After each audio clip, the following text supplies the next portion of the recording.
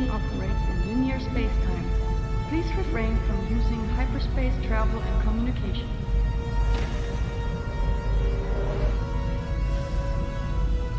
Attention all Andromedans. This station operates in linear spacetime. Please refrain from using hyperspace travel and communications.